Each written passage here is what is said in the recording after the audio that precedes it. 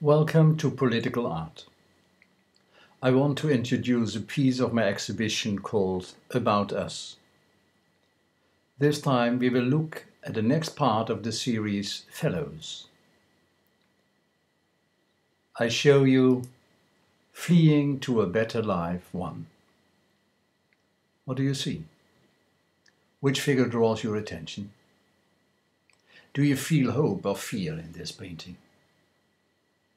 Please take your time for this awareness and press the pause button. After a while, start the film again and I will tell you what I wanted to express. In front of a background of colors resembling old buildings, people are in full action. It seems they try to get to the other side of the barbed wire. We see the power and tension in their legs. Without a feeling of fear, they want to jump down. Are they escaping from a prison?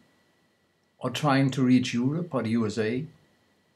Everywhere in our world where there is barbed wire, people try to keep others at the other side. And those people will always try to get over it. You see, those people have no faces, no arms, no hands, no feet. They are specimen of mankind, no specific individuals. In their movement we see their strong inner strength to get over the wire. I didn't want to express their action or their activities, which would be clear when they'd have arms and hands. I'm searching for their basic inner attitude. That what is happening inside their body and give them the power and conviction to do what they do.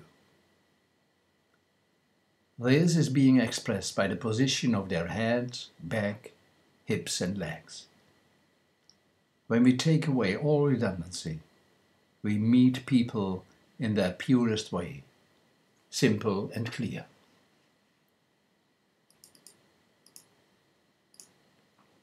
The measures of this object are 63 by 80 centimeters. I'd like to thank you for your attention and hope you will visit us again. Then I'd like to introduce to you Fleeing to a Better Life 2. Have a nice day. Bye.